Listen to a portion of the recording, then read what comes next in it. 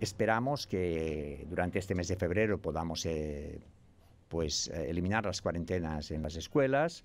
En estos momentos estamos esperando el, dictamen o el informe, mejor dicho, de la ponencia de alertas. Ah, por las noticias que tenemos, eh, va en la dirección que diversas, diversos territorios, diversas comunidades proponemos, ¿no? que es la flexibilización de estas cuarentenas en la escuela y por tanto esperemos que durante este mes de febrero uh, podamos eliminarlas. Uh, y el segundo elemento, siempre ya cuando tengamos estas cuarentenas, el siguiente paso será las mascarillas. Pero siempre, cuando hablamos de mascarillas, siempre pensamos primero en la escuela, primero en los niños y niñas, primero dentro de los niños y niñas en los más pequeños, y a partir de aquí eh, una vez empiezas con los más pequeños, ves cómo continúan los contagios, cómo evolucionan, puedes ir aumentando la edad.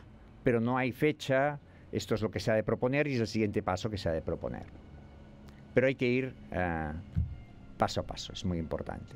Sé que todos tenemos muchas ganas de correr, sé que todos tenemos muchas ganas de normalizar, pero hemos de ir poco a poco, paso a paso.